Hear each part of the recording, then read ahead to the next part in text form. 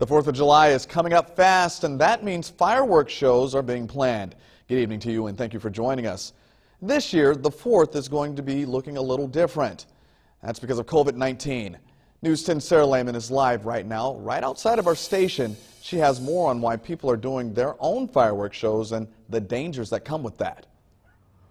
Yeah, Ron Jarrell, of course. Oh, look, we just got lit out here. This is awesome. So you are going to be seeing a lot of these sparklers and even hearing fireworks while I'm standing out here. I've been hearing a few go off and seeing them just off in the distance. And that's, of course, because 4th of July is coming up. Now, I'm just going to go ahead and set this in water and put this out so that we're safe out here.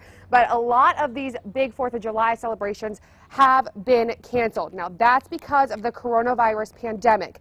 Many cities are drastically changing their 4th of July celebrations or canceling them altogether. That's to avoid large crowds and help make sure the virus doesn't spread.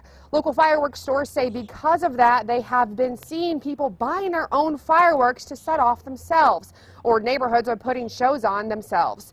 But Terre Haute Fire Chief Jeff Fisher says that's when injuries can happen surrounding cities and counties canceling their shows, um, we've seen an uptake in sales just where neighborhoods have come in because they're pulling together to try to do shows since they can't go to their, their town show. If you're going to shoot them off yourself, just make sure that you uh, do it safely.